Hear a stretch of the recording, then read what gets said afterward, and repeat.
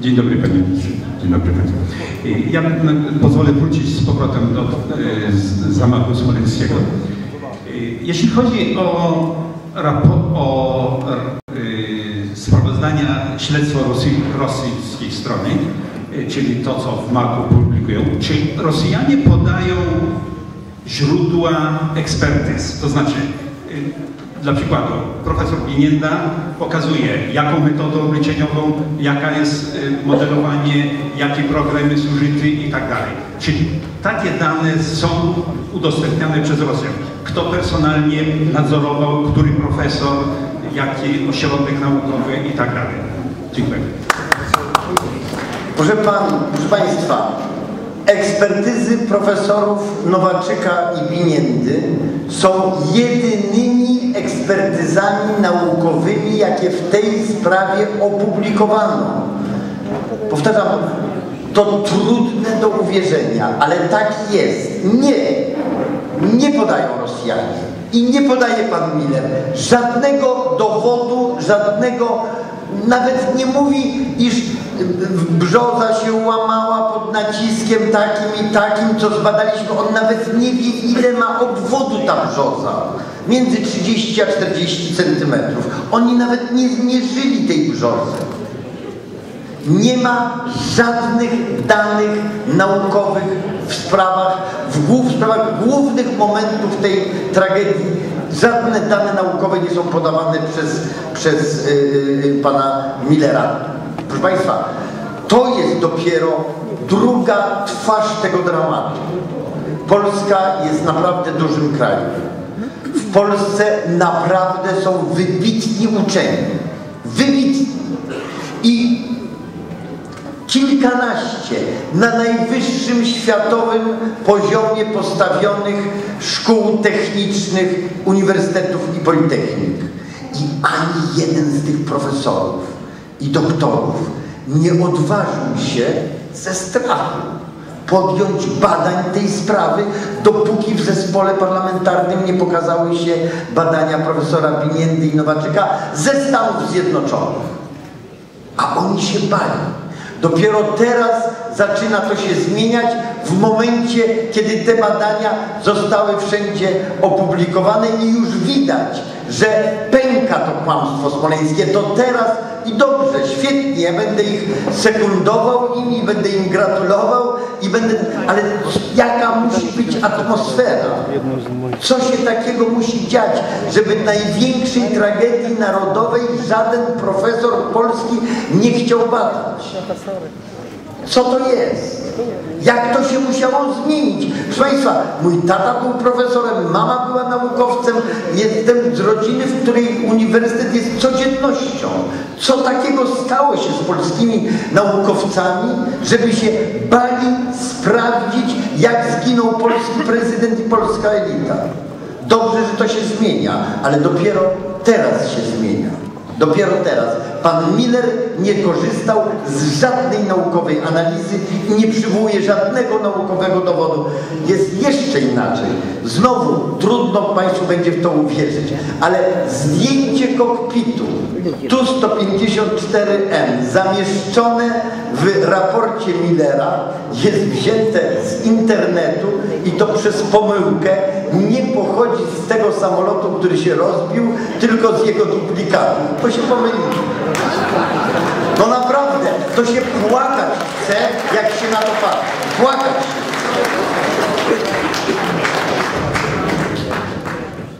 Trzeba zdecydowanie poprzeć wniosek o powołanie Komisji Międzynarodowej, która zajmie się tym, tą tragedią smoleńską.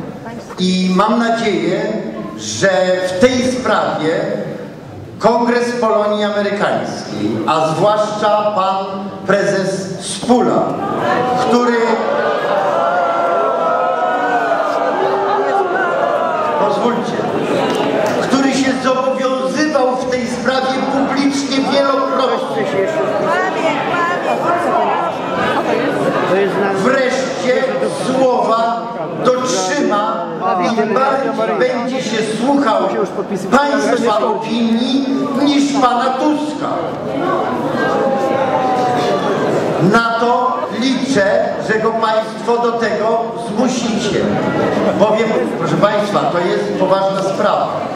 Chcę, żebyście Państwo zrozumieli, że tak długo, jak długo Kongres Polonii Amerykańskiej nie poprze tego wniosku, tak długo w Waszyngtonie ciągle będą w tej sprawie wątpliwości, bo Kongres Polonii Amerykańskiej w Waszyngtonie państwa reprezentuje. Tak jest. Tak jest. I ten pan miły, który tu stoi i proponował mi, żebym ja blokował mównicę w Sejmie Rzeczypospolitej, no nie będę pana namawiał, żeby pan blokował wejście do Kongresu Polonii Amerykańskiej, tutaj niedaleko, prawda? No ale może by pan poszedł do pana prezesa Spuli i spytał go, kiedy wreszcie wystąpi o Międzynarodową Komisję, bo Rada Dyrektorów Kongresu przyjęła takie stanowisko rok temu. Rok temu. A pan Spula włożył to pod suknię. Więc czynię pana odpowiedzialnym za przywództwo w tej sprawie. Dobrze?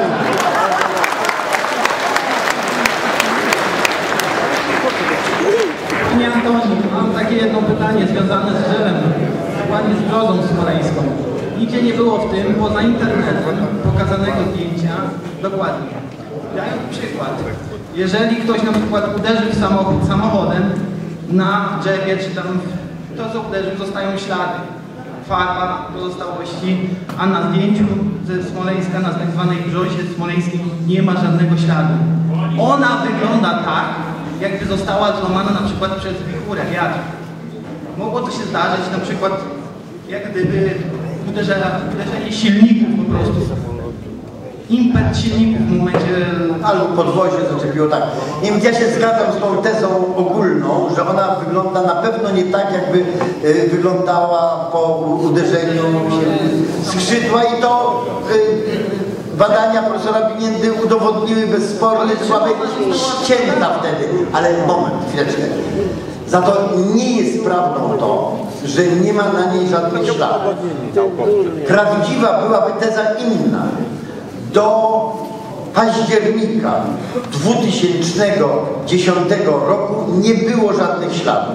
I my mamy zdjęcia tej brzozy od 11 kwietnia począwszy do października 2010 roku i nie ma tam, tak jak Pan mówi, żadnych śladów. I na zdjęciach z tego okresu nie ma żadnych śladów.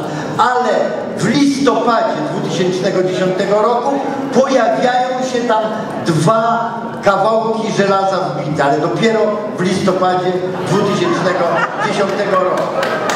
Naprawdę tak jest. No, cuda smoleńskie są częścią kłamstwa smoleńskiego. Mam jeszcze drugie pytanie, troszkę przykre, ponieważ trzeba tu wspomnieć e, pana Wassermana, że tak powiem, i ekshumację zwłoki.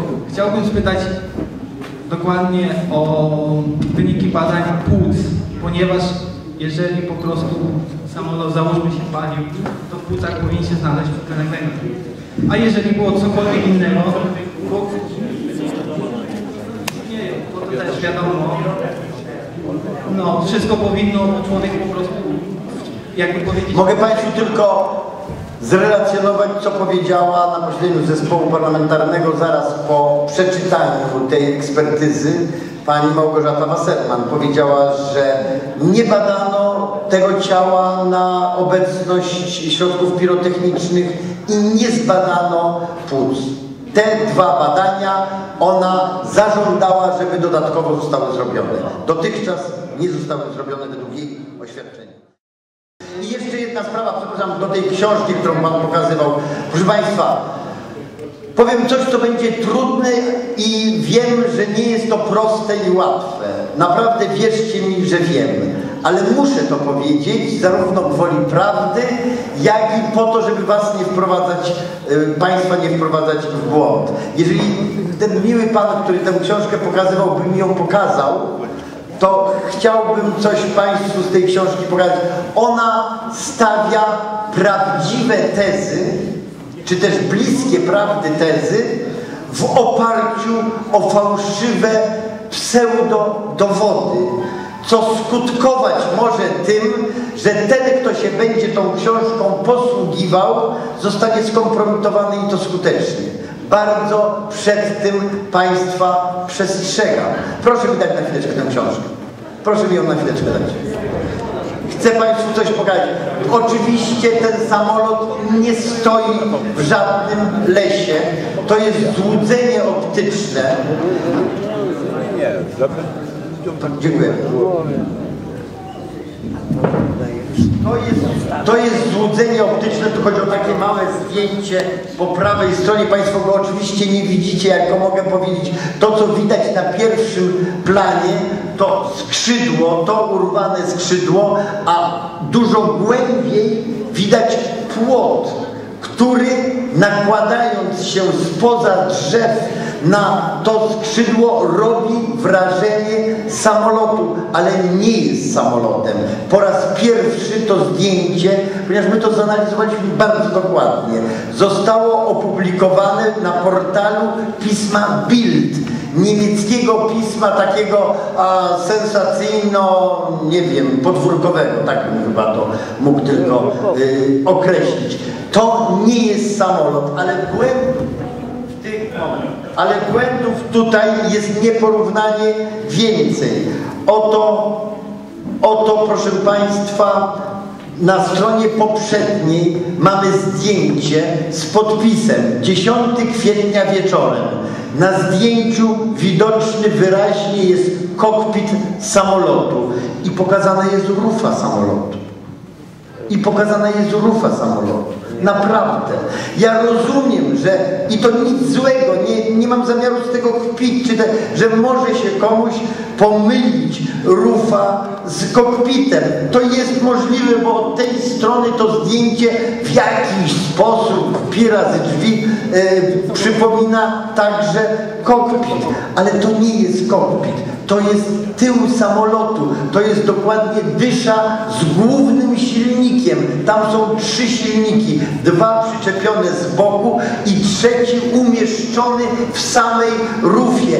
Nad nią jest taki chwyt powietrza, który robi wrażenie silnika, jest tylko rurą doprowadzającą powietrze do, do silnika, a silnik jest w środku tej, tej rufy. Mówię o tym nie dlatego, żeby tam złe słowa mówić o tym młodym dziennikarzu, który w zapale różne rzeczy, bo na pewno miał dobre intencje. Ja nie mam wątpliwości. No, no jest autor, no pan Leszek Szymowski. Jeżeli pan pozwoli, na pewno miał dobre intencje, ale niestety nie przyłożył dostatecznej ostrożności i dostatecznej staranności, a w tej sprawie chodzimy po polu minowym. W tej sprawie nie możemy pozwolić sobie na błędy, bo każdy nasz błąd w konsekwencji bije nie tam w Pana, we mnie czy w kogoś innego, tylko w tę sprawę w możliwość dojścia do prawdy, bo gdybym ja nie zaprotestował przeciwko temu, tylko dlatego to robię, to te osoby, a na pewno są wśród nas i z Panem Bogiem, witamy je i gra gratulujemy im i tak dalej, które to nasze spotkanie nagrywają na przykład dla różnych radiostacji i telewizji, które z różną intencją później publikują, przez pół roku by się z nas wyśmiewały przez pół roku by udowadniały, że ja, bo to na mnie by było, nie umiem odróżnić kokpitu od rufy. Więc bardzo proszę o ostrożność w takich sprawach. Naprawdę bardzo proszę. A jak wątpicie w cokolwiek, to spokojnie piszcie Państwo mail do mnie antoni.macierewicz małpa sejm.pl Każdą wątpliwość ja lub mój sekretarz y, wyjaśni. Naprawdę, a nie dajcie się podpuszczać w sytuacje, które mogą być dla nas wszystkich po prostu bardzo, bardzo kłopotliwe. Się wiąże, rozumiem, że to, co Pan teraz powiedział, wiąże się z jednym z ważniejszych dowodów w tej sprawie, który na skutek ośmieszenia, właśnie ośmieszenia przez media w ogóle nie jest badany, a jest bardzo ważnym dowodem. To jest film Minuta 24, film, który powstał podobno natychmiast po tej tragedii i który, w którym są oczywiście strzały, każdy słyszy te strzały. I tak, znaczy ja też nie słyszę, zgadza się. Niemniej on nigdy te strzały nie zostały potwierdzone przez żadne laboratorium państwowe, ani żadne laboratorium y, mające jakąkolwiek metrykę. Tymczasem koniecznie trzeba wyjaśnić, czy one były, a jeżeli były, to do kogo i po co strzelano. To jest jedna z ważniejszych spraw w tym śledztwie. Tylko proszę zrozumieć, ponieważ właśnie nieostrożnie, niemądrze od razu zaczęto mówić, że tam rozstrzeliwano Polaków, nie mając na to żadnego do końca dowodu, to poszła taka nawała medialna, taka nawała propagandowa, że od półtora roku nikt się tym filmem nie zajmuje, chociaż jest niezwykle ważnym dowodem. Przestrzegam Państwa przed brakiem ostrożności w tej sprawie. Jak stawiamy oskarżenie, to musimy być na mur pewni, że ono jest rzeczywiście prawdziwe. W innym wypadku lepiej oskarżenia nie formułować. W tej sprawie jest tyle strasznych rzeczy, tyle bezspornych dowodów winy rosyjskiej, bezspornych, że nie musimy chwytać się rzeczy wątpliwych. Proszę Państwa, 15 kwietnia 2010 roku został sporządzony raport przez polskich ekspertów, y, y, y, raport sygnowany przez pana pułkownika Milanowskiego i ten raport zawiera wprost stwierdzenie, że winę za to ponoszą Rosjanie. 22 kwietnia nad tym raportem debatują, zastanawiają się minister Bogdan Klich i akredytowany polski pułkownik Edmund Klich i zastanawiają się nad tym, jak usunąć ten raport, jak go schować, jak, go, jak sprawić, żeby on nie stanowił dowodu w tej sprawie. Więc nie musimy szukać dowodów tam, gdzie jeszcze nie jesteśmy pewni, w sytuacji, gdy mamy dowody na stole, a nagranie z rozmowy pana Edmunda Klicha z Bogdanem Klichem zostało opublikowane przez zespół parlamentarny. Na posiedzeniu zespołu zrobiła to pani Anita Gargas, która zdobyła to nagranie i je, transkrypcję tego nagrania opublikowała. Więc mamy dokument wystarczający, by chwytać się wątpliwych. Dziękuję. Szanowny Panie Ministrze, w imieniu słuchaczy Radia Maryja i widzów telewizji Trwam, o ile to będzie możliwe, chciałem serdecznie Pana Ministra zaprosić za tydzień, w niedzielę o godzinie drugiej po południu pod konsulat Polskiej Rzeczypospolitej, aby tam myśmy mogli również, obchodząc kolejną rocznicę tragedii smoleńskiej, również upomnieć się o jakie powinna uzyskać telewizja Trwam, aby mogła być na cyfrowym tym y, platformie.